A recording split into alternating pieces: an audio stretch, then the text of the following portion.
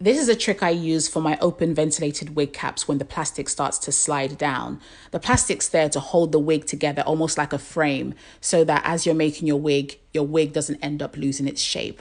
I use a zigzag stitch and I attach the plastic to the netted part of the wig so this way it maintains its shape.